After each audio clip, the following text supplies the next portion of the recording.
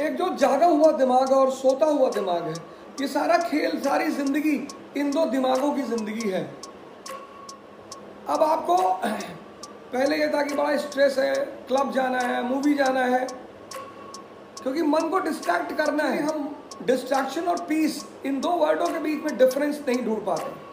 हमारी जो अशांति है मेंटल स्टेबिल अनस्टेबिलिटी उसमें सबसे बड़ा रोल है डिस्ट्रैक्शन का। क्योंकि रामायण रामचरित मानस का सीधा उद्देश्य था उसके सिद्धांतों का प्रसार। जय हिंद फ्रेंड्स। जानना बहुत ज़रूरी है। हमारे पास कैपिटलिज्म ने क्या किया कि हमें बहुत सारे काम करने नहीं दिया, हम नहीं किया हमने। जैसे अगर हम रिलीजन को लें तो आज रिलीजन की हालत जो इतनी बुरी हुई, उसकी वजह यह है कि हम सब रिलीजियस फ़ंक्शंस करते हैं रिचुअल्स करते हैं, लेकिन हम खुद नहीं करना चाहते। जैसे हम कोई शास्त्र नहीं पढ़ना चाहते, हम कोई किताब नहीं पढ़ना चाहते तो जो भी हमारे लिए पढ़ेगा। हमने एक पुरोहित हिंदू, हिंदुओं ने हायर कर लिया। मुझे आज भी याद है, एक बड़ा अच्छी घटना है मतलब मेरे साथ, कि हमारे यहाँ वो हिंदुओं क्या होता है अखंड रामायण तो मकान बना तो अखंड रामायण का पाठ हुआ। तो वो मंगाया गया मतलब मंडली मंगाई गई। अब तो शहरों में मंडली आती है। जबकि रामायण का उद्देश्य ये है कि अगर आपके घर में अखंड रामायण होगा तो आपके मोहल्ले में या आपके गाँव में जितने भी लोग होंगे, ये उनकी ज़िम्मेदारी होगी कि वो आकर आपके घर में एक पेज, दो पेज, पाँच पेज, दस पेज, वो खत्म करें। क्योंकि रामायण रामचरितमानस का सीधा उद्देश्य था, उसके सिद्धांतों का प्रसार। इसीलिए कहा गया कि उसको पढ़ने से बड़ा फ़ायदा मिलेगा। इसीलिए ऐसी ऐसी बातें कही गई कि जो कुरान पढ़ेगा उसे सवाब मिलेगा, जो बाइबल पढ़ेगा उसे सवाब मिलेगा, जो रामचरितमानस पढ़ेगा, वो सवाब यही है कि जब आप उन्हें पढ़ेंगे और उनसे आप चीज़ों को सीखेंगे, उस सीखने से आपको सवाब मिलेगा। हमने क्या किया? हमने इस कैपिटलिस्ट के युग में हम इतने बिज़ी हो गए थे। कभी कभी ऐसा होता था कि बस टाइम हो रहा है अब इंस्टीट्यूट जाना है क्लास लेनी है तो आज प्राणायाम नहीं हो सकता, आज ध्यान नहीं हो सकता। हमने बहुत ज़रूरी चीज़ों से अपनी ज़िंदगी में कॉम्प्रोमाइज कर लिया था। मैं अपनी बात कर रहा हूँ। तो जागने की बात कर रहा है कि जागो।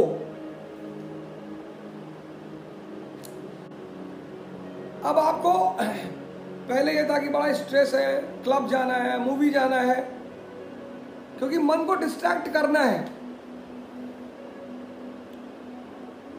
एक्चुअली हम डिस्ट्रैक्शन और पीस इन दो वर्डों के बीच में डिफरेंस नहीं ढूंढ पाते। हमारी जो अशांति है मेंटल स्टेबिल अनस्टेबिलिटी उसमें सबसे बड़ा रोल है डिस्ट्रैक्शन का। बड़े, मैंने कल भी शायद ये बात कही थी कि बड़ा डोमेस्टिक वायलेंस हुआ, बड़े बच्चे मार खाए बेचारे।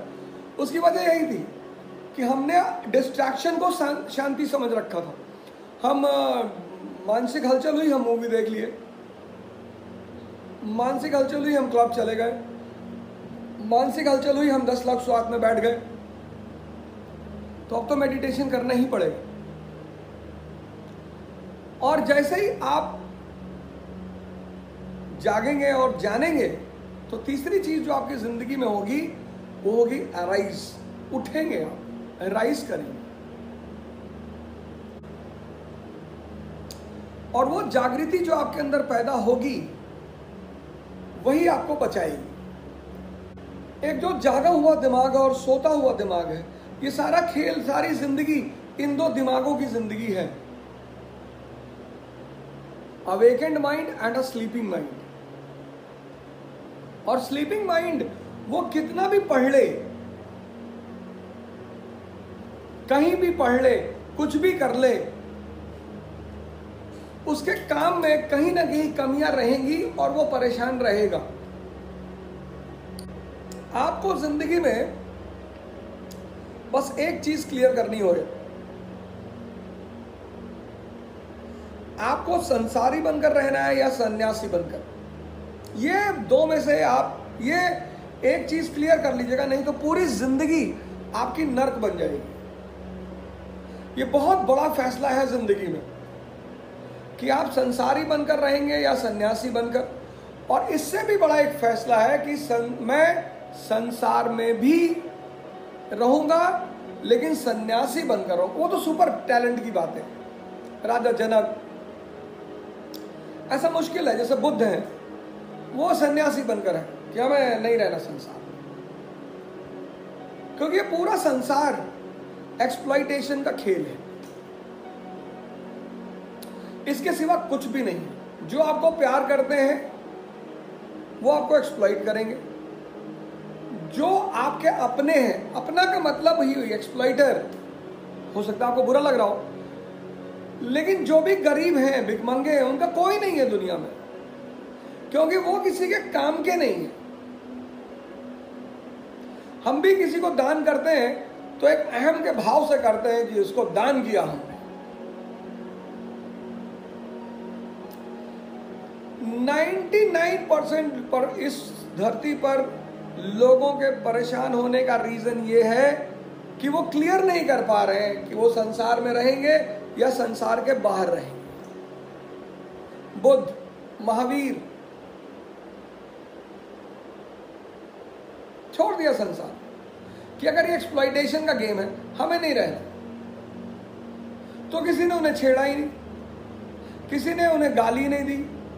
किसी ने उनकी बुराई नहीं की। ज़िंदा रहे तो लोगों ने की, क्योंकि बड़ी बड़ी बातें कहते रहे, इससे धर्म के लोगों को बड़ा, जब भी कोई आदमी लाइटेंड होता है तो ये जो धार्मिक वर्ग है, धार्मिक, पुरोहित, मौलाना, इसको बड़ा, ये बेसिकली बिजनेसमैन है। ये समाज को बांधने का काम करते हैं, ये समाज को भटकाने का काम करते हैं। कल के किसी मेरे मित्र ने फेसबुक पर लिखा था कि पंडितों को भी आत्मनिर्भर होना चाहिए और मंदिरों को छोड़कर काम करना चाहिए। सर, मंदिर में पंडित तब तक रहेगा जब तक आप भिकमंगे हैं। आपके भिकमंगे पन से ही वो पंडित वहाँ बैठा हुआ है। पंडित अपने बल पर नहीं बैठा है। भाई, किसी गाँव में अगर कोई आदमी बीमार ही ना हो तो वहाँ डॉक्टर बचेगा कैसे? ये जो आप पंडितों की बुराई करते हो ना, उससे पहले आप अपनी सेल्फ इंट्रोस्पेक्शन किया करो। आप मंदिर जाते हो कि भगवान नौकरी लगवा दो। सबसे बड़े भिगमंगे तो आप ही हो। और भगवान आईएएस में लगवाना, वो भी प्रॉपर आईएएस में भगवान। और कैडर भी भगवान यूपी ही दिलवा दे। इतनी तो आपकी मांगे हैं कि सेंट्रल मिनिस्टर के घर में शादी हो जाए भगवान। तो आपकी चूँकि मांगे हैं तो और वो आपके सपने को पूरा करता है। ये मौलाना, ये पुरोहित, ये आपके सपनों के सौदागर हैं, ये आपके सपनों को पूरा, ये अपनी वजह से ज़िंदा नहीं है, इनको आपने ज़िंदा रखा है। इसलिए इनको कुछ कहने से पहले आप स्वयं को ज़रूर देखें। और 90 परसेंट लोग इस दुनिया में भगवान के भरोसे जीते हैं। इसलिए ये वर्ग कभी खत्म नहीं होगा। मेरे मित्र हैं, अंबेडकर जी को भगवान मानते हैं। मैं तो उन्हें बुद्ध मानता हूँ। वो भगवान मानते हैं। बड़ा पूजा पाठ करते हैं, बड़ा मतलब रीति रिवाज कर्मकांड का बड़ा विरोध करते हैं और पुरोहित वर्ग को बड़ा गाली देते हैं। एक बार सौभाग्य से मैं उनके घर पहुँच गया। ऐसे ही एट्रेंडम पहुँच गया। तो उनकी माता जी थी बाहर तो उन्होंने कहा कि अब अंदर आ जाओ, पूजा हो रही है। मैंने कहा, पूजा? किस चीज़ की? तो मैं अंदर पहुँचा तो वो तो बेचारे एकदम उनका चेहरा पीला पड़ गया मुझे ऐसे देख रहे थे। हाँ मैंने कहा, करो कोई बात नहीं, करो। मैं तो बहुत हंसा, भाई साहब, बड़ा मस्त हुआ, आया ड्राइंग रूम में बैठा, वो बेचारे आए, भागते हुए आधे घंटे बाद हंसने लगे, अरे यार अवध भाई, अरे अरे यार, तुम तो पूजा करवा रहे हो। किस चीज़ की पूजा करवा रहे हो? करे, वो काल सर्प की पूजा करवा रहा हूँ। पैसे में बड़ा घाटा हो रहा चारों तरफ़। तुम तुम मरे हुए लोग, तुम पुरोहितों को खत्म कर पाओगे? तुम कभी नहीं खत्म कर पाओगे। वो अंबेडकर एक बहुत साहसी आदमी है। उतनी साहस लाना ही अपने आप में एक बहुत बड़ी बात है। इसीलिए तो वो दुनिया से बिल्कुल अलग आदमी है। उसको फॉलो करना अपने आप में क्रांति है। गांधी को फॉलो करना, अंबेडकर को फॉलो करना, बुद्ध को फॉलो करना, मोहम्मद को फॉलो करना, कृष्ण को फॉलो करना, जीसस को फॉलो करना, ये सारे ईसाई मुल्क हैं। कहते हैं, लव इज़ गॉड।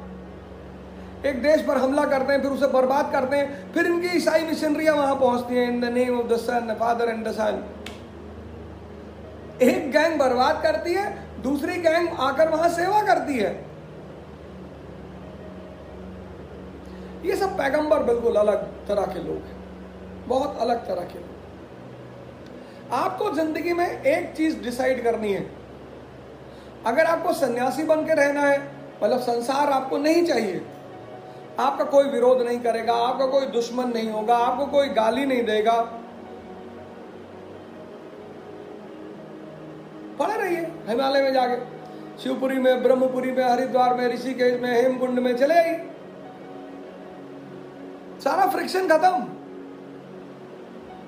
लेकिन अगर आपको संसार में रहना है और आपको ऊपर उठना है, राजा बनना है क्राउन रखना अपने सर पे कि पूरी दुनिया आपको बोले ज़िले इलाही तब ये आसानी से नहीं होगा सर। फिर तो आपके बगल के लोग ही आपकी सत, आपको काटने की कोशिश करेंगे। करेंगे ही। मेरे बड़े सारे बचपन के मित्र जो मुझे देखते होंगे वो बेचारे बहुत गुस्से में भी आते होंगे कि तुमने तो ज़िंदगी में कभी पढ़ाई नहीं की। तुमको ये सब बातें कैसे पता चल? मेरे एक मित्र ने मुझे फ़ोन किया। बोले तुम इतना कैसे पढ़ रखे पढ़ लिए? मैंने कहा मैं तो आँख में ध्यान करता हूँ, भगवान सब बताते रहते हैं मुझको। इसलिए तो मैं आपसे बार बार कहता हूँ self transformation is in your hand बस तुम डिस्ट्रैक्शन को खत्म कर दो और अपने कॉन्सेप्ट को क्लियर कर लो।